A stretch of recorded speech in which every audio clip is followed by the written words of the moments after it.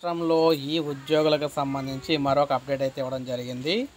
SSA ఉద్యోగులకు జీతాలు చెల్లించాలంటూ MLC షాబ్జీ గారు అయితే కీలక అప్డేట్ అయితే ఇచ్చారనమాట సమగ్ర శిక్ష అభియాన్లోని పనిచేస్తున్న ఒప్పంద పొరుగు సేవల ఉద్యోగులకు పెండింగ్ జీతాలను వెంటనే చెల్లించాలని ఎమ్మెల్సీ సాబ్జీ మంత్రి బొత్స సత్యనారాయణకు వినతిపత్రం సమర్పించారు.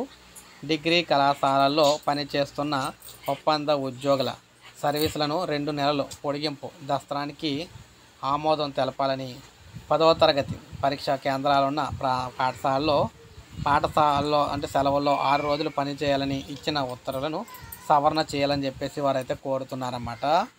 అంటే ఈ విధంగా చూసుకున్నట్లయితే ఈ ఉద్యోగులకు సంబంధించి ఏదైతే ప్రాబ్లమ్స్ ఉన్నాయో ఆ ప్రాబ్లమ్స్తో పాటు వీరికి చెల్లించాల్సిన బకాయిలు ఈ బకాయిల్ని కూడా రిలీజ్ చేయాలని చెప్పేసి వీరైతే విద్యాశాఖ మంత్రి గారిని అయితే రిక్వెస్ట్ చేయడం జరిగిందనమాట సో ఈ విధంగా అయితే జరిగింది. సో చూడాలి మరి ఆయన రిక్వెస్ట్ మన్నిస్తారా లేకపోతే మన్నించరా అనేది నెక్స్ట్ అప్డేట్లో మీకు వీడియో రూపంలో అందిస్తాను. నెక్స్ట్ ఇన్ఫర్మేషన్ ఒక లైక్ చేయండి సబ్స్క్రైబ్ చేసుకోకపోతే మన ఛానల్ సబ్స్క్రైబ్ చేసుకొని ఫాలో అవుతానండి.